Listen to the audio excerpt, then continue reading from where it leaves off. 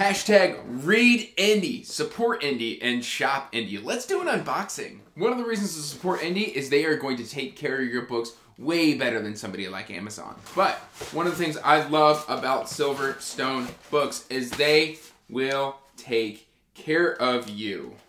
We have got Andrew D. Meredith for scored book two in Needle and Leaf. We have got a nice, cool bookmark. And we have got Vultures by Luke Tarzian. Very, very cool.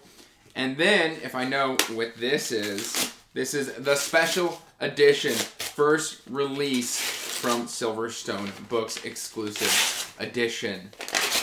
And that is Adjacent Monsters by Luke Tarzian. Please, please support indie bookstores and indie authors.